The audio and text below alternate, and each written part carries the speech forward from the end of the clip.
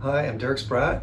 I made uh, these Altec 604 speakers in 2016. They're nine cubic foot uh, internal volume cabinets um, with the Great Plains Audio version, the 604 8H Mark III, the latest version, which has got improvements to the uh, horn, the dispersion characteristics, some improvements to the driver characteristics, uh, the high frequency and the low frequency drivers, including power handling capability. So it's the original design from 1943 that's been continuously upgraded to the present day and um, it uh, has custom crossovers from Rick Craig who owns and runs a custom speaker manufacturing business called Zahali Audio uh, and uh, it's um, the voicing of the crossovers is improving the mid-range uh, between the 1500 hertz crossover frequency point. Uh, he's improved the voicing, the mid-range sounds smoother, and um, generally speaking, it's just that the speakers sound a little bit more neutral and natural than they are with the stock Altec crossovers.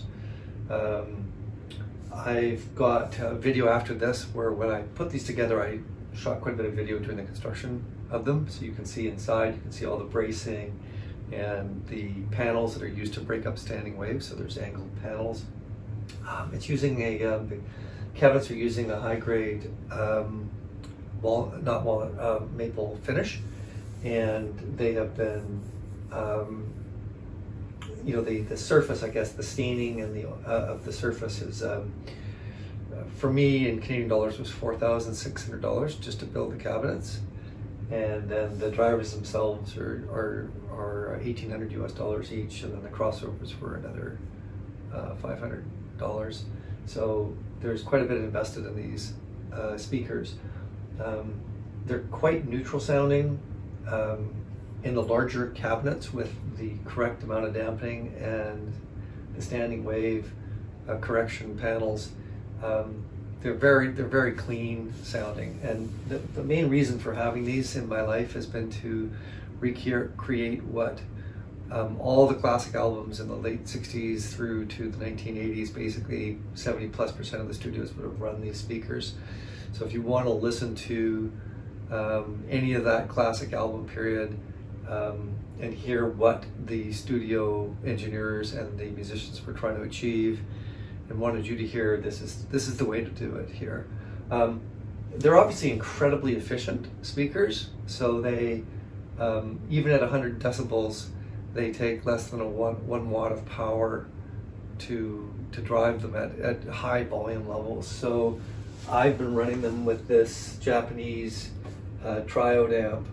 Um, it's uh, this 300B triode.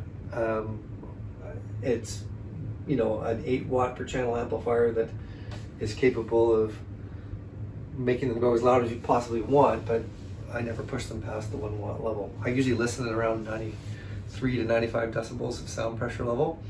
And I also run a, a small subwoofer. And the reason is I can take this little controller here and I can sit there while I'm listening and literally by the track, by the song I'm listening to, I can change the amount of bass response. So if I want something really punchy and hard hitting, um, I can play with it. It's like my loudness control for the bass. Um, I'm also sitting fairly close to these speakers, kind of in the middle of my room. Um, so it's not the optimum bass response in the middle of the room, uh, but I, and I can adjust for that dynamically with the sub. But if I move my listening position back another two feet, then the speakers by themselves obviously produce more than enough low frequency response. Um, when you build a speaker like this, you can play with the amount of damping. Um, so I've got the thing, you know, fairly well damped with really high-end damping materials and a really nice design where all, alternating surfaces are damped and the other surface is left live. Um, and whoever buys these can, can pop the back panels off and, and make any adjustments they want to make. You know, you run your own frequency response analysis and uh, whether you use a sub or not, how close to the wall they are, how big the room is, how far your, your listening position is away from the speakers, all that's going to change uh, the details. But, um, you know, I've had $10,000 Martin Logan uh, electrostatics I've got um, you know Adam studio monitors. I've got a whole ton. I used to have acoustic research stuff when I was a younger guy. Um, even ADS, Braun speakers from Europe. Um, you name it, I've probably listened to it.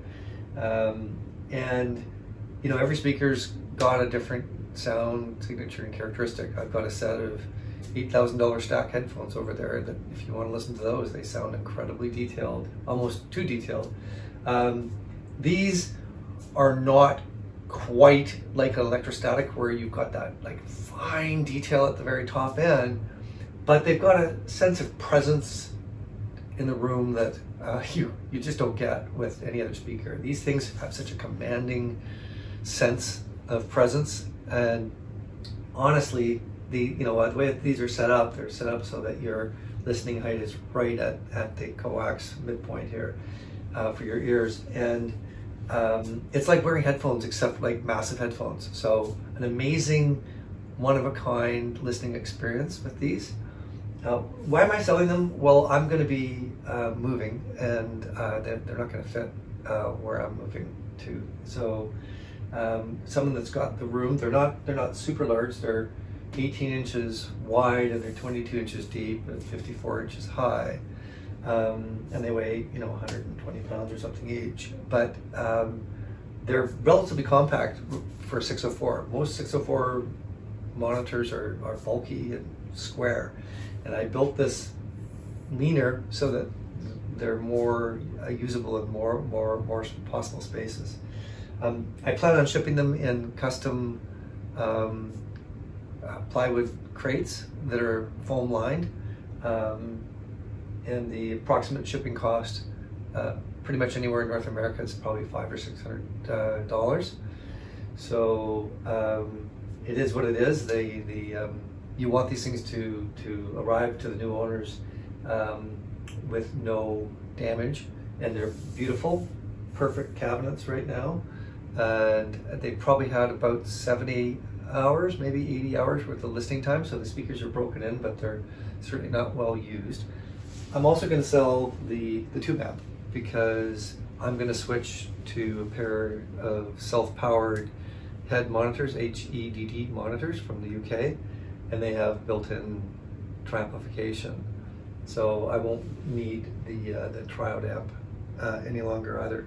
So anyway, I live in Vancouver, BC, Canada, and if anybody's local or is somewhere up and down the coast of um, you know, between here and, and, Oregon, we can probably get uh, get in person together, but otherwise they would be uh, sent remotely. And um, you know, people sometimes ask, where do you, where's the best position for the bass uh, reflex ports? And just keep in mind that at um, you know between 30 and 80 hertz, the wavelength of, of, a, of a sound wave is the length of this room or, larger. Uh, and so moving a port up and down a few inches or positioning on the front of the speaker versus the back of the speaker, you're wasting your time because the, the wave is, is, is some huge multiple of that distance, so it's not going to make any difference. Um, just the amount of damping. If you put more damping in, you control the speaker more, it's going to tighten up the sound of the speaker a bit more but you're gonna just softly roll off and suck up some of the energy in the bass. So you can play with that amount of damping depending on what your listening environment is like, and you could increase or decrease the amount of bass. Again, do you have a subwoofer, that kind of thing. So love these speakers. It's been uh, four years with them, and I think a new owner will be thrilled. I don't think there's a finer set of 604s um, out there. I'm really, really proud of what has been created here beautiful, well-built cabinets, beautifully braced inside, and uh, the latest 604 um, drivers themselves, and a really thoughtfully designed, high-quality um, passive crossover. And uh, yeah, so it's it's um, it's hopefully going to find a new home uh, for somebody soon. Thank you. Sorry for the yellow light. It's the fluorescence. Um, so these are the new Altec Lansing or Great Plains Audio 604 8H3 cabinets and uh, I'll just sort of show you so the idea is it's a 9 cubic foot enclosure It's 18 inches wide, 20 inches deep, 55 inches high, and uh, two round 4 inch ports or 3.8 inch diameter ports that are 4.4 inches long. And the inside is braced side to side and front to back. Um, this top brace is to support the back of the speaker, the, uh, this, this frame down here. And um, in conjunction with the um, angled uh, plate on the back, we have several other angled plates to break up standing waves. And then there's different types of, there's sonic barrier 1.25 inch um, insulation plus some regular foam and some fiber insulation that I'm going to put in different places. And anyway, I'm trying to put this thing together right now. And um, these two crossovers here, so this is the stock Great Plains Audio Altec crossover, and this is the one that Rick uh, Sahali has uh, built for me. He's a bit of an, an expert in uh, the uh, audio business with improved voicing, so I've tried these before with the 604s in another cabinet. I know what they sound like and look like and frequency response, so I'll plug this hand, you know, it's just a soldered point to point on the back of that uh, uh, board, wooden board, but uh, it should be interesting to see um, what the different characteristics are and how it sounds. So here's the semi-completed phase of the um, driver installed, I guess, and um, so yeah, I used um, the T-bolts at the back. You can see them in the cabinet there. 1032 stainless hardware. I may paint it black, um, although the silver color is actually kind of a neat little industrial look to it.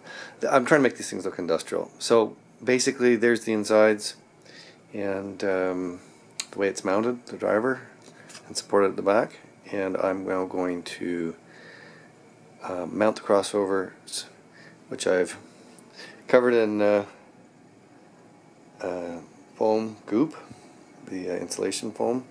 It's just so nothing rattles and it doesn't bounce reflections off all the parts and I'll mount those and then I'll um, do the um, damping material and then I'm uh, getting close to finishing it up. So here are the speakers, they're done.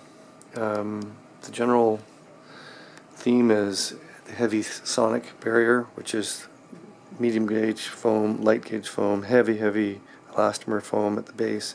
So using that on each of the wedges, um, having light filler, poly filler in behind the wedges, and then um, lighter foam at the top and some of the sides, and uh, you know keeping the um, the damping and the critical area around the, um, the speaker such that we're not getting reflected waves uh, hitting the cone. But generally live one side, dead the other. Maybe a little bit biased towards damp, heavier damping, um, but uh, I try not to over damp it. So, and then the front is looking good as well. So, yeah, they're um, they're just about ready to be pushed into place.